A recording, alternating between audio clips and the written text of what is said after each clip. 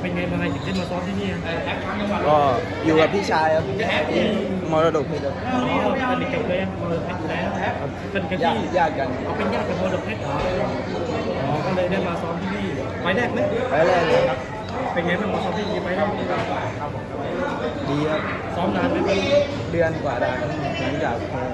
ก็เลยมาต่อยดูเลยใช่ไหมครับผมเพราะว่าตอนที่ไปแรกก็อยากโดนคนน่าเจอตัวอย่างเดียวใช่ครับเออทัพไทยวันนี้เราชกไม่ครบห้ายกใช่ไหม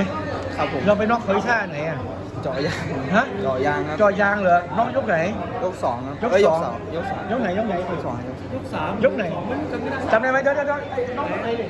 ยกสามยกสองฮะยกไหนเอ้าจำไม่ได้ยกยกสองครับยกสองครับยกสองนะ ยกสองนะ พอนักมวยจำไม่ได้ลงอ้อยก็ตกใจเลย เออลงอ้อยก็ก็ก็เพ่งเผลเลยไหนดีสุดเออ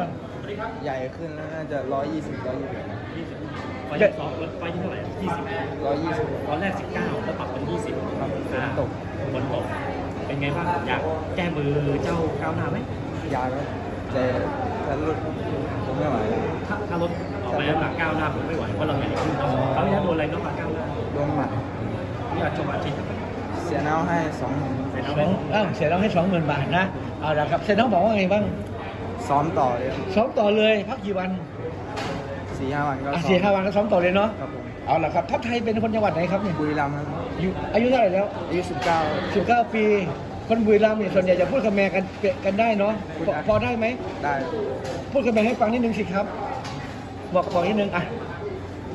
บอกเป็นมวยเลยครับมาก็เออ ดีใจมาก เออ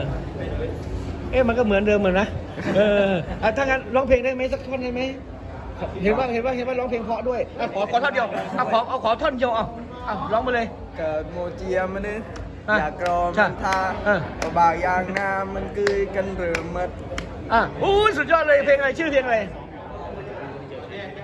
ยี่สิบเอาล่ะครับผมนี่ฮะนี่คือทัพไทยนะครับ ทัพไทยธนพลรีสอร์ทวันนี้เอาชนะน็อกรุ่งพานุแสงบารมียกที่สองครับสอง